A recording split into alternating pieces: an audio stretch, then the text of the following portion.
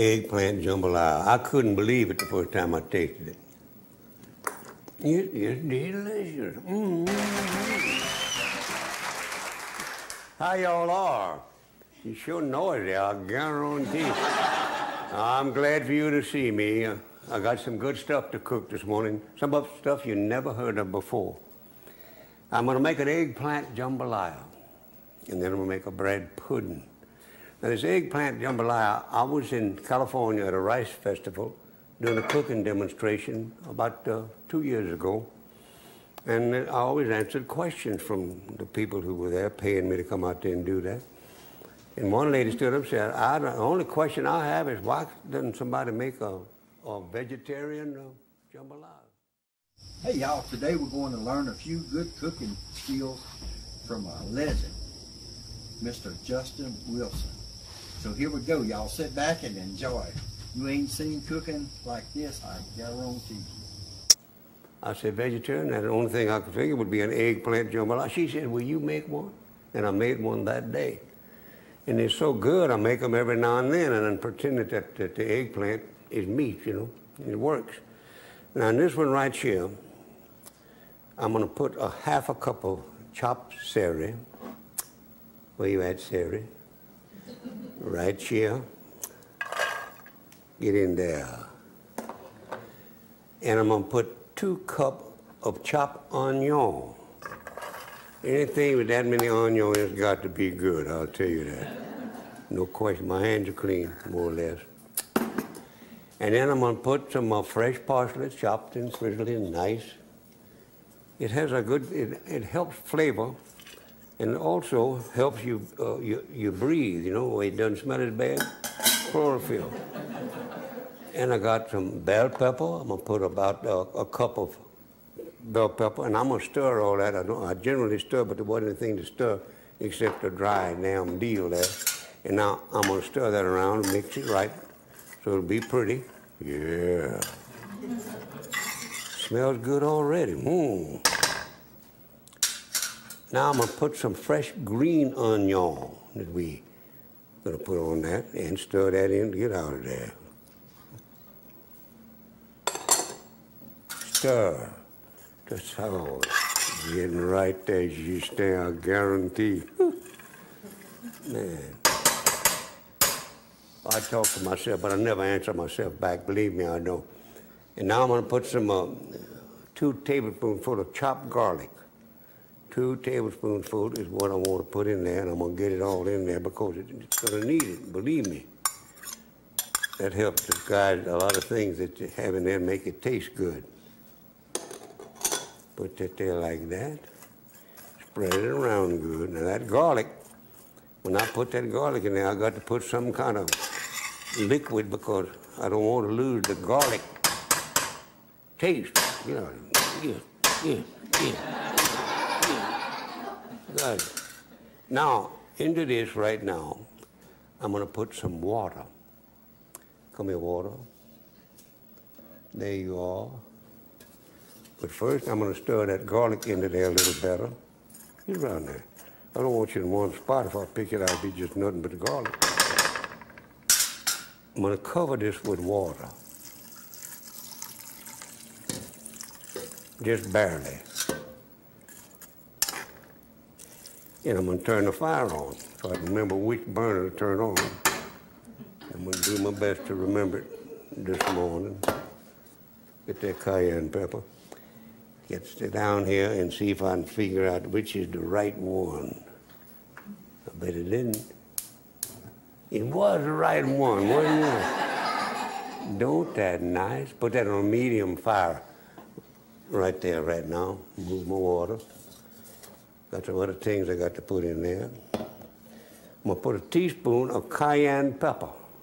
Now that looks like a lot, but it's not for this. Is, we got 10 cups of those uh, eggplant. We're gonna go in there. Come on Now let's stir you in there good, because I'd hate to get a hold of that whole teaspoon at one time. Make me forget my name. And I love well-seasoned food, but not anything that's too hot. Cajuns don't like hot, hot, hot food. They like well-seasoned food. That's what they like. and they love to live, and they live to love, and they have fun. That's the main idea. Now into this, I'm going to put two tablespoonfuls of Worcestershire sauce. That's two tablespoons, and so nicely measured out for me. Stir as you stand. You got to stir. Stir it up. That there. Put you in there. Put you in there. Now move. Now into this, into this, I'm going to put a cup of dry white wine. And you know why I cook with wine? A lot of people say, oh, he cooks with that wine. Well, there's no alcohol left in it. And after about 10 seconds of cooking, I use wine because wine takes the bitterness out of things that have bitterness that you wouldn't think have it, but they do. Onion have bitter. They have, they're bitter. Parsley is bitter. Celery has got some bitterness, and bell pepper too. So I, I'm just going to put a cup of wine in this. Wine. now I've got to let this come to a boil. And then I'm going to put, I put some salt in there. I'm going to use three cups of long grain rice. I'm going to put at least three, three teaspoons. That's one. That's two. Y'all don't believe that's a teaspoon. I have to show you. Doubting Thomas and Thomasina's around, you know how it is. But what I do, I do what my mama taught me to do. Measure that teaspoon every time. You hear? You see that?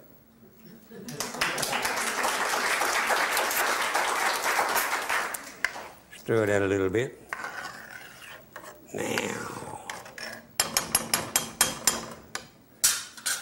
It says salt to taste. I got to put a little more salt in there because I got a lot more than just, just that rice going in there. Put one more teaspoon and a Justin Wilson lagniappe to go in there. Now put all the ingredients in there except the rice and the eggplant. I got everything. Salt, dry wine, tomato sauce, tomato, uh, Worcestershire, cayenne pepper, garlic, green onion, bell peppers, fresh parsley, chopped onion, and celery.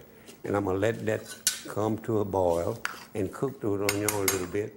And I'm gonna go over here and we're gonna just put the rest of this in here. Now into this now I put uh, eggplant. It's chopped, chopped up, 10 cups. Oh. They go in there like nice little fellas. Oh, I'm not gonna pick that up off the floor, believe me. I lost one, one piece of eggplant on the floor. I'll kick it out of the way where I won't step on it. I don't like to step on eggplant. Now, into this, I'm going to put rice. I'm to put uh, three cups of long grain rice and let it cook for a while. Long grain rice. Mix it up all at the same time if I can, and I can. I'm gonna put a little more water in this.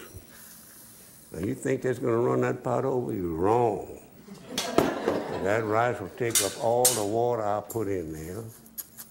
And I don't have to put much more, see, to bring it up to where everything's gonna have a little water.